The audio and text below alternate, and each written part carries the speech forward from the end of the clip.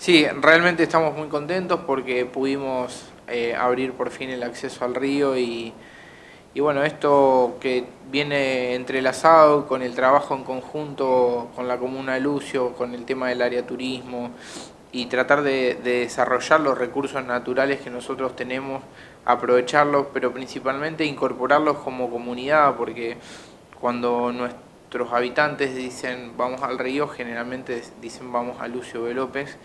eh, y bueno, apostamos a eso, a que eh, ese recurso natural que también es nuestro lo incorporemos como tal y también el hecho de, apuntar a, reserva natural habla de, la intención desde nuestra parte de,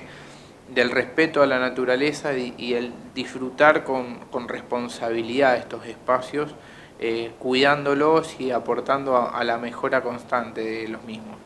Eh, si bien falta, falta estructura, eh, eh, faltarían baños, faltarían algunas cuestiones que a veces la falta de tendido eléctrico en la zona hace que estemos limitados en ese sentido. La idea es ir ganándole espacios y senderos a la costa como para que la gente lo pueda disfrutar a esta, a, esta maravilla natural que es el río Carcarañá.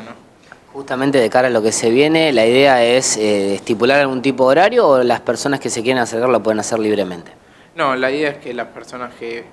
quieran disfrutarlo se acerquen sin ningún problema, sin ningún tipo de horario.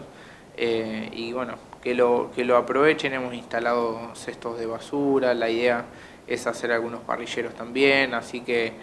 eh, pusimos cartelerías para tener precaución, porque el río es un río que es peligroso para, para meterse, que es un río eh, que no, no, recomendamos la navegación, así que eh,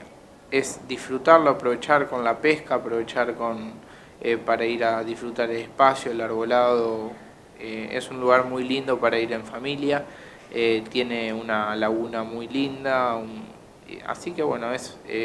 eso, empezar a incorporarlo como un recurso natural propio, a cuidarlo, respetarlo y, empezar a hacer uso ¿no? de, esto que,